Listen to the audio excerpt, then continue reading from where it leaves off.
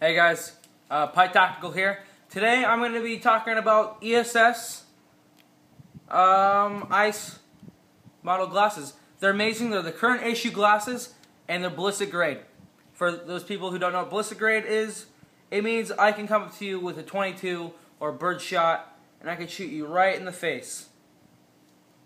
I've seen these get shot with a 22 short. I've seen these get shot with birdshot from 5, 10 yards away it definitely you see white specks or with up close with the five yards with a birdshot, it dents a lot. With the 22 short, it dents it.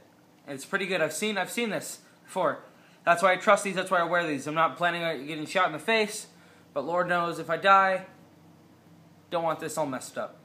Anyways, but I use these if I'm wearing a MICH 2000, if I'm wearing a fast helmet, or if I'm wearing PMC style, just uh, baseball cover baseball hat.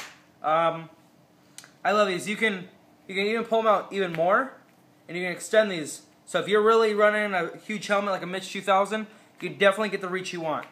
So I can get this, I can get these on. They can have so much room in the back that they, they fall off. You can't even get them on all the way. So if I'm wearing, if I'm running just uh, baseball hat style, I'll tighten this down, cinch it, and they fit right on my head snug. I'm not catching any brass. I'm not catching any carbon or gas under this if I'm shooting a real gun. It's good. Go pick up a pair, and this is Pye Tactical. Have a great day.